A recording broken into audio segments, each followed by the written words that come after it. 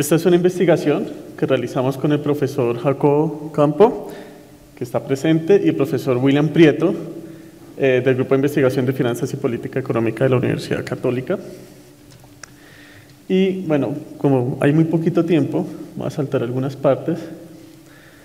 El tema de la motivación, bueno, todos hemos vivido de cierta forma el choque migratorio que se dio desde Venezuela por la crisis económica de Venezuela, que eh, se categoriza como migración forzada en el sentido pues, que han tenido que realizar eh, una migración no planificada. Y esas eh, migraciones que se empiezan a generar de esta forma, pues tienden a también tener efectos en los países que reciben estos choques migratorios, teniendo en cuenta que Colombia no es un país que esté muy acostumbrado realmente a eh, recibir migración, es más un país expulsor de migración, expulsor de población, y pues recibir eh, tantas personas, pues obviamente puede llegar a tener algún impacto, que es el que nosotros quisimos medir. Se han realizado muchos trabajos dentro de la literatura. Eh, la gran ventaja en, en, Colombia es que, como es un choque relativamente nuevo, novedoso también, pues no, no habría tantos, eh, tanta literatura y pues teníamos que intentar medirlo de alguna manera. Eh, de acuerdo a ACNUR, en 2019, 79.5 millones de personas fueron desplazadas por la fuerza. Dentro de ellos está, lógicamente, la población venezolana, hay población colombiana interna y demás. Y nos vamos a centrar específicamente dentro de los datos en la población eh, venezolana. acá vale la pena distinguir algo, y es que Colombia no solo recibió eh, esta población como población de destino final, sino también como población de, tránsito, un choque migratorio también de tránsito, cuando iban hacia el sur, eh, Ecuador, Perú, Chile, eh, Argentina, pues solamente países con mejores condiciones. Otra migración se fue hacia España y las personas pues de mayores recursos terminaban en Estados Unidos, en Europa y demás. Y nosotros pues obviamente tuvimos un choque con una población de una estratificación digamos media-baja y pues también son otras condiciones, ¿no? ¿Qué es interesante los hechos estilizados? Bueno, las horas trabajadas, si nosotros nos damos cuenta, la población migrante eh, en promedio trabaja más tiempo y más tiempo que otros migrantes que no son venezolanos y más tiempo que la población eh, nacional. Otro hecho que es bastante importante, más que todo por los modelos econométricos, es que la mayor parte del choque migratorio se dio hacia la informalidad. Esto es muy común dentro de todos los choques migratorios, empezando porque hay personas que tienen condiciones para estar dentro de la formalidad, pero no tienen las formas legales para continuar eh, o permanecer o iniciar una vida formal en, cada país, y pues obviamente sus choques migratorios son diferentes. Eh, los años de escolaridad también es una variable bastante interesante. En media, los migrantes venezolanos eh, cuando lo a nivel nacional, tienen un nivel de escolaridad similar al colombiano y algunas regiones niveles de escolaridad superiores a los colombianos y eh, a veces también superiores a los de otros migrantes, pero en la mayor proporción eh, menores a los, de, a los de otros migrantes, ¿no? que, que, puede ser de otras, de otras regiones. Las variables control que nosotros llamamos más adelante, que son jefatura, sexo y demás, comparten ciertas eh, condiciones similares a los, acá creo que no está esa gráfica, a los nacionales en cuanto a que la mayor parte de los jefes de hogar, por ejemplo, son hombres. Eh, el Estado civil también eh, tiene unas proporciones similares, pero dentro de todo la jefatura del hogar casi siempre la, la tienen los hombres. Esta es una revisión de la bibliografía, no me voy a tener en ella, si, si alguien la quiere revisar, digamos, está disponible. Y va a pasar rápidamente a los datos y más o menos comentar cómo se hizo el modelo tomamos una corte entre el 2015 y el 2019, eh, porque el choque migratorio fuerte fue 2016, 17 y 18. Entonces, ese es como el experimento aleatorio, en teoría, que se, que se quiso hacer. Eh, teniendo en cuenta que obviamente en este caso no podemos tener un, contrafactual, no podemos tener un grupo de tratamiento, digamos, como un ensayo controlado aleatorizado, como, como lo explicaban ahorita. Perdón. Y lo que se hizo fue tomar el choque migratorio, como un evento eh, aleatorio, un evento que nadie esperaba, es, como el COVID, nadie lo esperaba, es un evento totalmente aleatorio, y al ser un evento totalmente aleatorio, pues podemos medir eh, dentro de un grupo de tratamiento que vamos a definir y un grupo de control, un antes y un después de ese choque migratorio. Estos dos grupos, eh, dentro de todo el trabajo, se tomaron por la presión migratoria, es decir, no, no tomamos tanto cuántas personas habían regionalmente, eh, cuántos llegaron por cada región, sino presión migratoria con unos trabajos que realizó el DANE eh, por cada mil y por cada cien mil habitantes. Al final nos quedamos por cada mil habitantes y pues cuántos eh, migrantes llegaban por cada mil habitantes, entre más grande sea ese número, pues es mayor presión migratoria. Se hizo una corte sobre la media y se formó un grupo de tratamiento que serían los grupos de media más alta, de presión migratoria, y un grupo control que sería de la media hacia abajo, eh, que tienen obviamente menor presión migratoria. La composición más o menos fue eh, una tercera parte de la presión migratoria de, de, regiones de departamentos con más presión migratoria y dos terceras partes de regiones pues, con menor presión migratoria, teniendo en cuenta que fue sobre la media. Ya definiendo los grupos, se, se querían responder dos preguntas. ¿Qué pasó en términos laborales, en términos de empleabilidad y qué pasó con la distribución de los salarios? Eh, para el tema laboral se hizo un logic multinomial, un modelo bastante conocido en la literatura. Para el tema de los salarios, una modelo, un modelo de regresión cuantílica. Y eh, dentro de los dos, digamos, teniendo en cuenta cada modelo, se hizo realmente un modelo DIF-DIF, un modelo de diferencia en diferencias, un modelo que está dentro de la literatura de cuasi experimentos. Por lo que comentaba anteriormente, pues era imposible, digamos, tener estos grupos para hacer eh, experimentos en, en sí e intentamos medir cada uno de los efectos.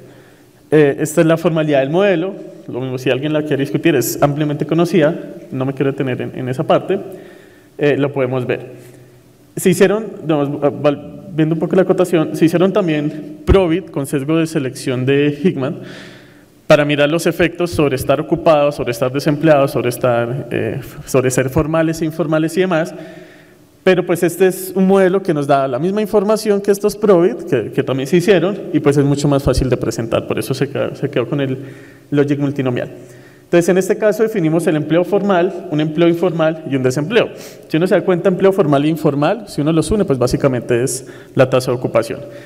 El empleo formal se definió tal y como lo define el DANE, es decir, es más por localización formal, es decir, eh, que las empresas donde se trabaja sean formales, esa, esa, definición también está dentro de la literatura del DANE, eh, utilizando la gran encuesta integrada de hogares, obviamente las personas ocupadas que no son formales eh, son informales, y con el, la, la, variable de desempleo básicamente pues es la inversa de estar ocupado, nos, nos podemos guiar qué pasó en el empleo en general.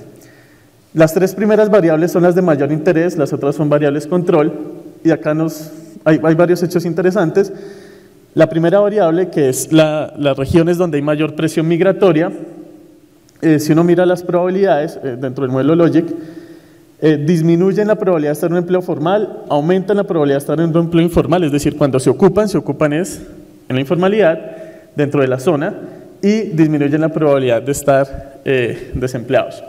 La variable tiempo básicamente nos dice es qué pasó, qué transcurrió, qué pasó entre el, el, entre el 16 y el 19, el 2019, y básicamente ocurrió algo que ya es bastante conocido y es que hubo varios golpes en el empleo, es decir, las tasas de ocupación realmente aumentaron en ese, en ese tiempo y prácticamente toda, lo, toda la población nacional, migrante, etcétera, pues tuvo problemas de, de empleabilidad.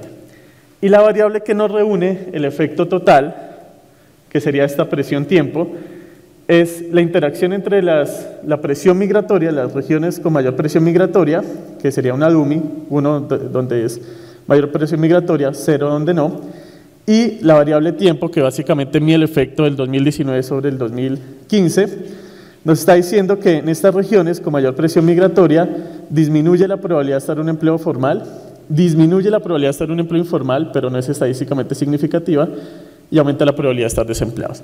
Es decir, a priori sí encontramos un efecto negativo eh, en, en, estas regiones con mayor presión migratoria. Eh, obviamente la intuición y los, hechos estilizados nos muestran que la mayor parte de la, ocupación se dio en el sector informal, eh, pero sí se dio un efecto negativo a través del tiempo del choque migratorio dentro de estas regiones. Las demás variables control responden como responden la literatura, no me voy mucho en ellas, los, hombres en general siempre han tenido mayores probabilidades de ocuparse, etcétera, etcétera, eh, los adultos también, y eh, pues por nivel educativo, que es bastante interesante porque la población venezolana que entró, pues tiene promedios de, educación superior en algunos casos, pues a mayor nivel educativo, básicamente las personas tienen más probabilidad de estar en la informalidad, en la formalidad, perdón, menos de estar en la informalidad y eh, más de, menos probabilidad de estar desempleado para posgrados.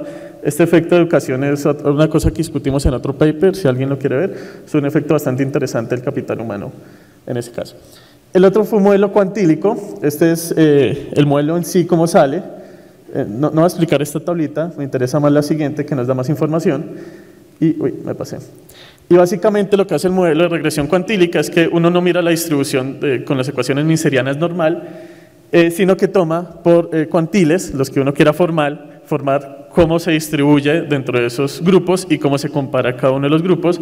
Hay una distribución intercuantílica que, que no alcanzamos a mostrar, pero también que mire las diferencias eh, dentro de cada grupo.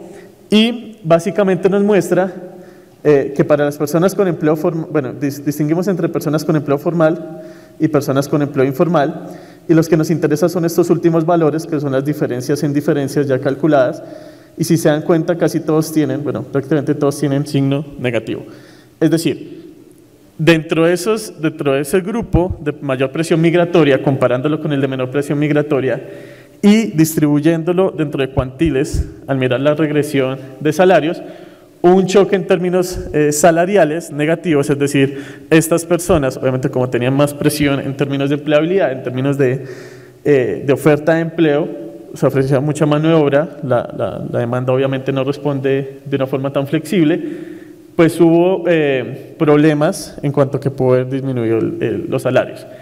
Y si se fijan, el efecto es mayor en, en la población informal, es decir, los mayores efectos salariales nocivos fueron en la población, en el mercado de trabajo informal. Entonces, eso genera muchos problemas en cuanto a la vulnerabilidad, porque pues, la informalidad es un problema bastante complicado en Colombia, que es también conocido. Entonces, ya, las conclusiones, es básicamente lo que dije. Eh, el problema migratorio en sí eh, vale la pena estudiarlo, es bastante fuerte en el país y pues se tienen que generar varias políticas públicas en torno a ello. Sí se encontraron eh, efectos negativos en cuanto al empleo, pero sin, embargo la población migrante llegó más que todo a la informalidad, lo cual también es un reto de política pública, y los efectos más nocivos se dieron en los salarios, de nuevo en la parte de la población informal. Bueno, esto fue corriendo un poco el paper que hicimos. Si tiene alguna duda, pues estaré atento. Muchas gracias.